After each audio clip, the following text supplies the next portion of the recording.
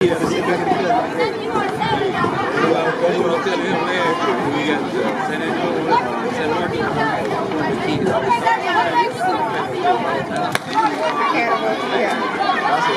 are underway. 15 and 16 year old girls division. Tightly contested. Lane five. Slight advantage.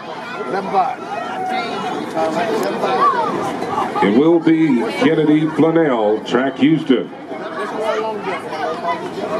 Another Region 12 record drop.